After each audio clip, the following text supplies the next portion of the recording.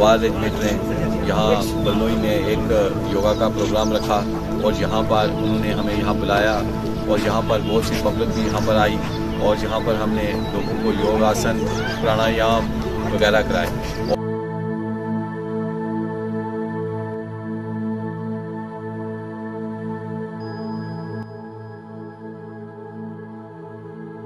देखिए, भारतीय सेना जहाँ एक तरफ़ हमारी सीमाओं की रक्षा कर रही है वहीं सिविल आवाम के दुख सुख में भी ये शामिल हो रही है।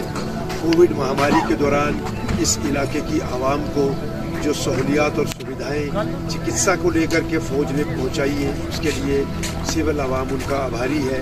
हमारी सांस्कृतिक धरोहर को दोबारा रिवाइव करने के लिए बल्लोई नाइट, बच्चों को क्रिकेट मैच के लिए तैयार करना या क्रिकेट मैच हुए। और आज हम देख रहे हैं कि पहली बार इस सीमावर्ती जिला में जबकि देश आज़ादी का अमृत महोत्सव मना रहा है? तो यहाँ पर अंतर्राष्ट्रीय योग दिवस के मौका पर एक योग शिविर लगाया गया।